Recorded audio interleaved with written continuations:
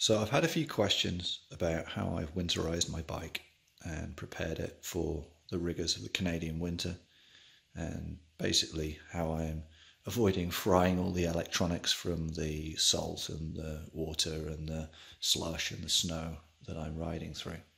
So I'm just going to hit on a few of the key areas of the bike uh, that I've taken steps to prevent damage from occurring.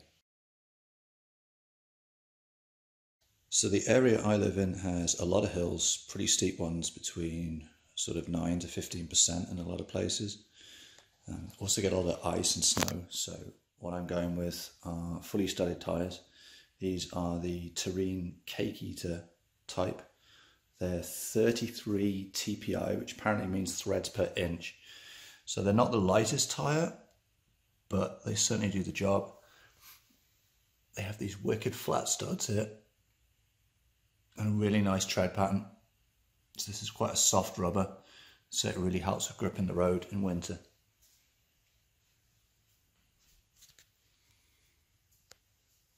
I've uh, not encountered any problems with these so far and I've been riding in quite a lot of ice and slush over the top of ice, compacted snow, trails and they haven't slipped out on me once. So definitely, uh, definitely worth the investment if you're riding in winter is some decent studded tyres. A lot of the issues that I've been getting have been involving slush off the road, and dirt. So I've put on these, what they call the front runner and the rear runner at the back, and they're basically the cheapest things I could find. Um, apparently this type of material is, is pretty tough and durable. We'll see. Um, I'm on the lookout for something better. Um, this one up at the front isn't perfect. As people saw in my last ride, the camera is still pretty vulnerable to getting splattered with stuff. And it is coming up a bit at the front so I maybe need to put something else on the wheel. But I couldn't find anything um, that goes on the front. So if anybody has any ideas for a good mud guard for the front wheel um, let me know in the comments. That'd be brilliant. As far as the cabling goes it's not my neatest job um, and I've got a bit more tidying to do um, but everything is Higo um, so it's sealed against the weather anyway. So I don't have to worry too much about the top here. Uh, there's a, as we come down to the bottom here where the motor is, everything that I can, uh, I shrink wrapped and waterproofed. Um, I've tried to put drip points in where possible, so if water runs down the cables, it's going to drip down to the ground. Again, most things are Higo plugs.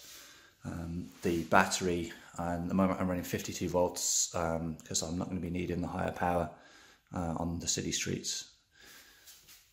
So I have the battery coming up and the connections going into the bag here. And I'm also going to be putting a cover over the top of this to help keep any sort of splash or rain off. Um, the back itself is waterproofed and I'll, I'll talk a little bit about how I've done all that in just a moment. For the wiring with the motor, just as a little bit of added protection, I put some silicone around where I think potentially the weak points might be. I did manage to preserve the original gasket when I switched to the, uh, the ERT kit here. Um, I've also put a bit in the hole. It looks pretty crappy right now, but this is actually going to dry clear.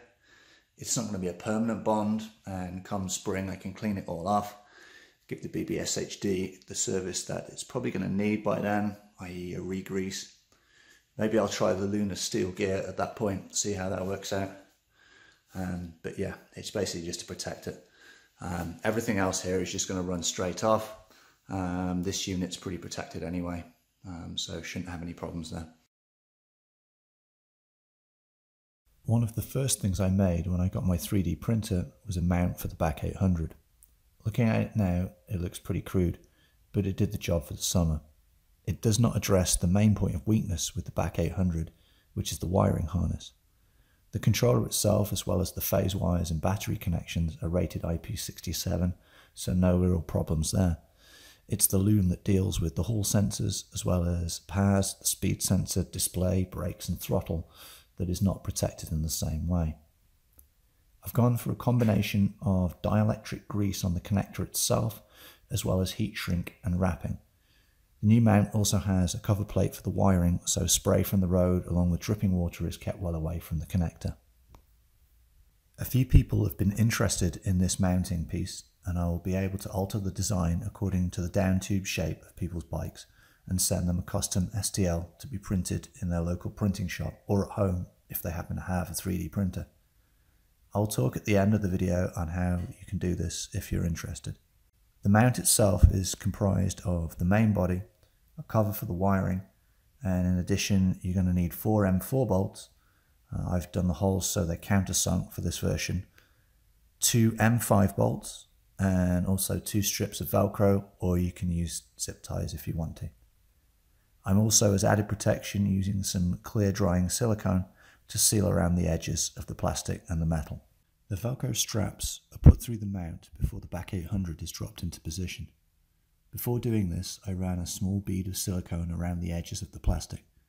The BAC 800 is held in place with two M5 bolts through the side of the mount. The mount is then attached to the down tube with the Velcro straps or zip ties if you prefer. The final part is to attach the cover for the wiring loom and it's held in place with four M4 bolts.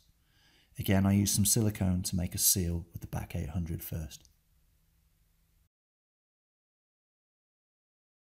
I wanted to touch briefly on the gear ratio I'm running, which is this one to one ratio of a 42 tooth on the front to a 42 tooth on the back. The chain I'm running is this seven speed or six, seven, eight speed, I think they call it. And it's some pretty tough KMC stuff. I've not had any problems with chain stretching, even running at the 72 volts. Um, I was a bit worried about when I started getting on ice and snow that it would be almost too much torque with that big gear. But in fact, it seems to be doing a really good job, and I'm not really getting much slipping. And I think a lot of that is due to the parameters that are set on the ASI BAC 800 and the way power is delivered steadily and not all at once through the system. As I mentioned earlier in the video, I've had a few more requests than I was expecting for the BAC 800 mount, and in order to manage this, I've set up a fairly simple web shop, and the link will be in the description. I'm not asking for a huge amount, just uh, 10 Canadian dollars, and it will help me to buy some more plastic for developing parts, and perhaps the odd can of beer too. If people make an order, they're going to need to send me an email as well via the web form on the site and detail a couple of things for me. One is the shape of the BAC 800 they have. It looks like ASI have several versions in circulation where the dimensions of the part indicated here can vary. I need to know the size on yours. I also need to know the shape of your bike's down tube or if you want a flat base. The curve can be custom shaped to fit pretty much any tube. Also, if you want a logo on there, you're going to need to send me a black and white image and I'll let you know if I can fit it in the real estate that there is. So that's a bit of a summary on how I'm keeping the bike running during the winter months. Uh, if anybody has any questions or wants any more detail on anything in particular, leave me a question in the comments section and I'll do my best to, to get back to you. Cheers.